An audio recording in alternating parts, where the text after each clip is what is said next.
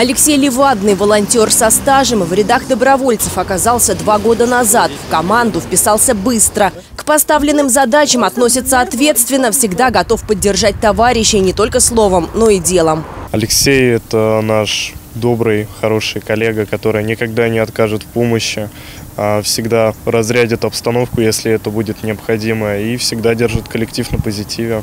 В начале пандемии Алексей собирал в наборы маски и перчатки, потом помогал с ремонтом в домах ветеранов Великой Отечественной войны. Теперь участвует в сборе и доставке гуманитарной помощи беженцам из Донбасса.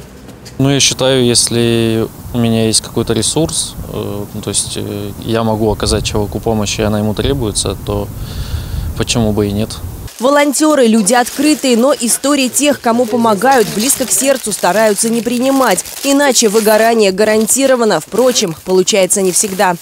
Мы ездили на 9 мая к ветеранам поздравлять. Вот их истории действительно откладывают какой-то отпечаток. То есть это очень трагическая судьба участвовать в войне.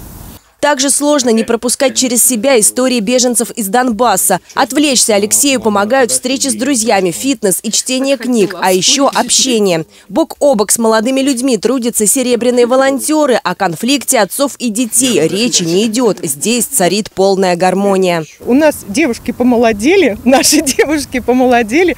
И я хочу сказать, что даже я смотрю, они расцвели.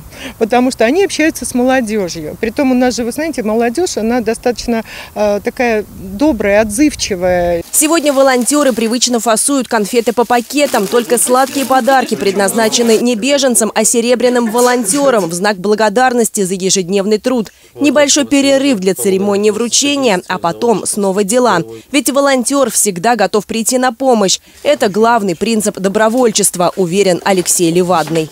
Евгений Августина, Денис Харламов, телекомпания «Одинцова».